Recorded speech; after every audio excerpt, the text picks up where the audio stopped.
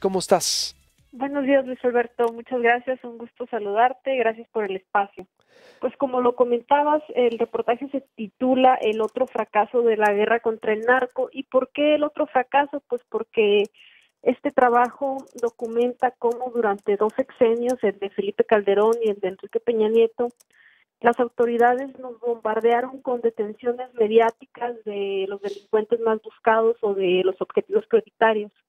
Nosotros hicimos un recuento de estas detenciones y encontramos que en dos sexenios 233 personas fueron exhibidas y detenidas como los más peligrosos del país y las autoridades nos dijeron que capturándolos pues los niveles de violencia iban a bajar.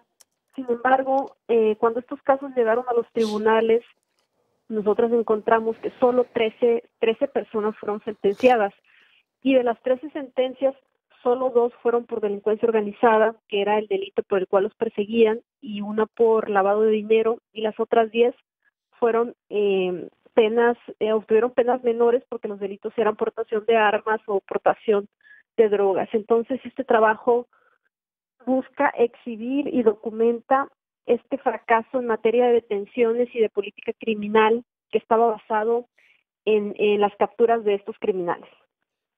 ¿230 y qué? 33. 33. Y solo 13 sentenciadas, eh, 10 por eh, delitos menores. Eh, por ejemplo, ¿qué, ¿qué tipo de delitos?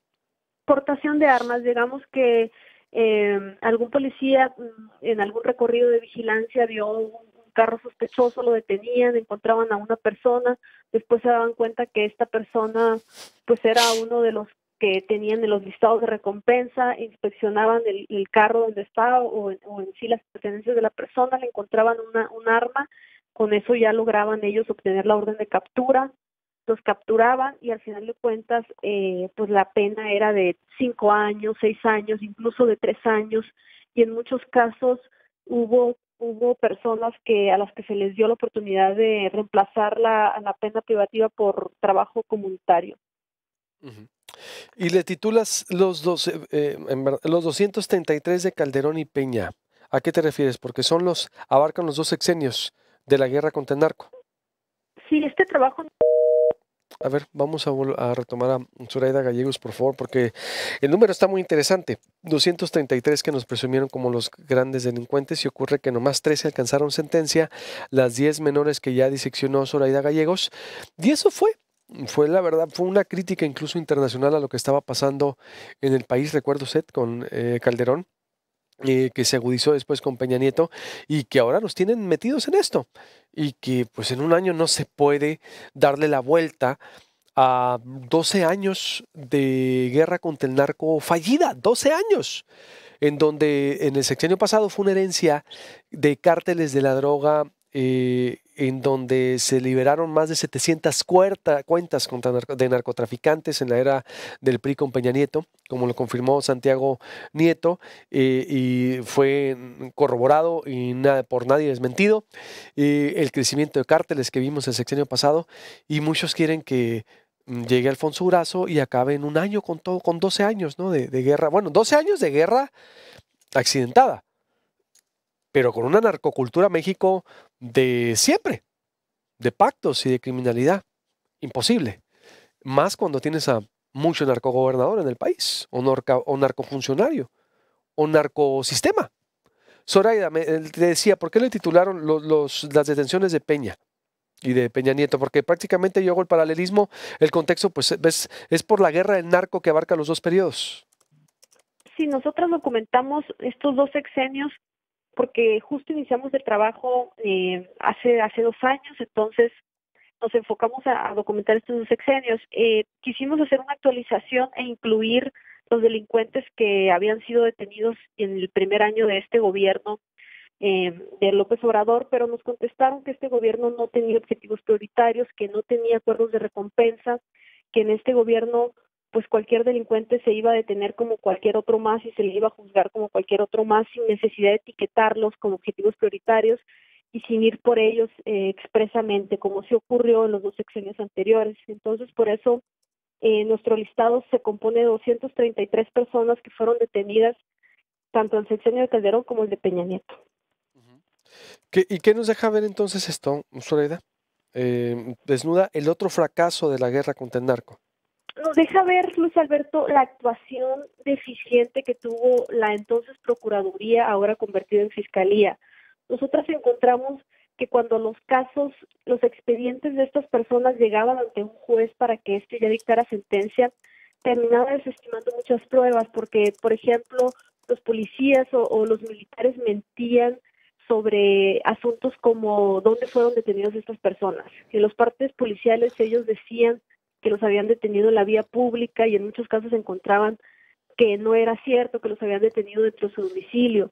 Hubo casos donde hasta hasta mentían en la fecha de la detención, entonces el delincuente lograba comprobar que lo habían detenido un día antes al que había declarado el policía que lo detuvo encontramos que se basaron en muchos testigos protegidos, que cuando el juez quería ampliar la declaración del testigo protegido se daba cuenta que el testigo no podía comprobar los dichos que había tomado en cuenta en su momento la Procuraduría General de la República. Nos dimos cuenta también que nos dijeron que eran detenidos por inteligencia policial, pero pues nosotras ya al revisar los expedientes nos dimos cuenta que muchas veces fueron eh, cuestiones circunstanciales, que andaban militares en recorridos y veían personas sospechosas o carros sospechosos y al revisarlo se daban cuenta pues que ahí iba uno de los grandes criminales que andaban buscando, pero digamos no fue esta inteligencia, sino fue casualidad que se los hayan encontrado por ahí en los recorridos. Entonces todo esto te evidencia que tenemos una, un sistema de procuración de justicia que no fue eficiente para tratar de,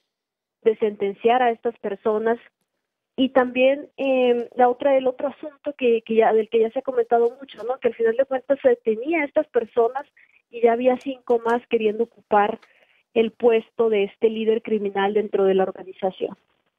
Oye, Soraya, y pues con una deficiencia, como dices tú, en el sistema judicial que, que tampoco que en 12 años no, no, no arreglamos. Así es, Luis Alberto. Eh, bueno, también nosotros, yo quisiera también eh, como dejar en claro que no se trata tampoco de, decir o de exculpar al, a los jueces, ¿no?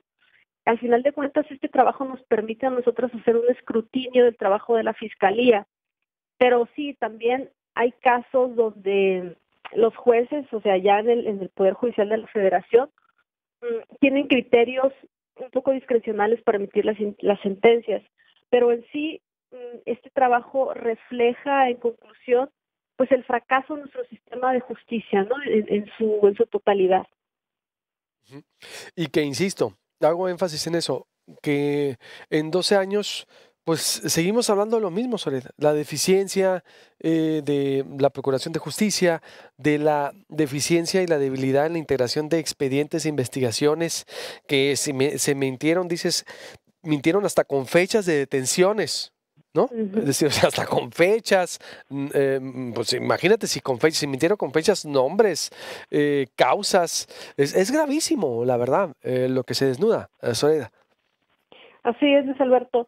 Em, lo preocupante es esto que tú dices, ¿no? O sea, seguimos hablando de lo mismo, de la deficiencia de, de nuestro sistema de justicia, ya hicimos un cambio en nuestro sistema de procuración de justicia, pues tú recordarás que entró en vigor el nuevo sistema de justicia penal y lo único que ha cambiado pues eh, es este asunto de exhibirlos, ¿no? Porque si tú recordarás en el sexenio de Calderón era muy común exhibir a los delincuentes ante los medios de comunicación y con el nuevo sistema de justicia ahora ya no pueden salir a, exhibirlos, no pueden dar los nombres completos, si, si difunden imágenes les ponen esta cintilla en el, en el rostro, pero pues digamos que lamentablemente es lo único que ha cambiado de ello en fuera.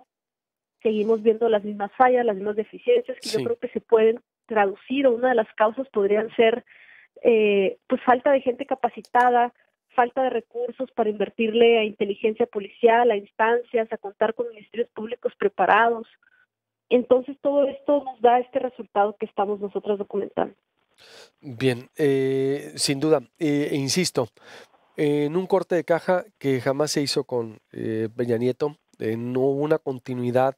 Yo recuerdo que cuando llega Peña Nieto, por ejemplo, se trajo a Oscar Naranjo, ¿recuerdas? Al exdirector de la Policía Nacional Colombiana, eh, que él tenía una tesis de enfrentar a los capos enfrentar a los cárteles de la droga de manera regional, con una estrategia regional, no nacional, dependiendo las zonas, porque pues gobierna cada zona o influye de diferente cártel. Eh, se trabajó un año, estuvo un año como asesor de Peña Nieto y se fue. Ya nunca nos informaron por qué, ya no nos dijeron qué había sucedido. Lo que sí queda claro es que hubo un crecimiento exponencial de cárteles de la droga en el sexenio pasado. Ahí están los datos duros. Liberación de cuentas, cárteles nuevos que los vimos más terroríficos, malignos, eh, y se descompuso el país. Y eso fue la herencia, se descompuso. Y tu trabajo es muy importante porque eh, corrobora eh, esas deficiencias, insisto, y que viene a dar la razón de que eh, no solo es la sangre que se derrama, desgraciadamente los inocentes que caen, el fuego cruzado, sino también la forma de un marco institucional de, autoridades mm, pues laxas, de, de expedientes, de investigaciones que a lo largo de los años de 233 detenidos que los exhibieron, los presumieron, los denunciaron, los señalaron, solo 13 sentenciados y 10 con penas menores y los otros tres también. Increíble. Soria, te agradezco mucho. ¿Algo más que, te haya que no te haya preguntado que quieras agregar? Sí, Luis Alberto, simplemente agregarte un dato que creo que es importante. Eh, bueno, te decía que estos 233 solo 13 fueron sentenciados, pero también hay una parte importante de la estrategia que fue este asunto de extraditarlos, ¿no? De renunciar el gobierno mexicano a juzgarlos dentro de tu país por los delitos que cometieron en tu país y de mandarlos a Estados Unidos. Dentro de nuestro estado hay casos como el de Chapo Guzmán o Vicente Zampada Niebla, hijo del Mayo, que fueron enviados a Estados Unidos en extradición. Nosotras eh, tenemos un conteo de 16 casos de grandes delincuentes que fueron enviados a Estados Unidos eh, en extradición, que fueron concedidos en extradición. ¿Cuántos, perdón? 16. 16. sí. ¿Quiénes son, eh? Pues te digo, es, es el Chapo Guzmán, es Vicente Zampada, está la Barbie, eh, hay gente de los, de los hermanos de Traleiva. Como los, los casos más importantes o más emblemáticos terminan yéndose a Estados Unidos y mi interpretación es que es por este este fracaso porque la fiscalía sabe que al final de cuentas pues son, son delincuentes de muy alto nivel y que no van a contar con los elementos para juzgarlos y, y decide entregarlos a Estados Unidos en extradición. Pues ya lo vimos con el Chapo y, las fugas que tuvo, ¿no? Como México después de las fugas termina dando a los Estados Unidos como renunciando a esta capacidad para poder tenerlo en una cárcel mexicana. Uy, y si le seguimos y, si, el más le encontramos. Gracias, Zoraida, te mando un abrazo. Eh, excelente trabajo, como siempre, eh, amiga. Gracias. Gracias, Luis Alberto. Buen día. Buenos días, Zoraida Gallegos, con esta investigación que desnuda el fracaso también desde la materia judicial de la guerra contra el narco de Calderón y Peña Nieto.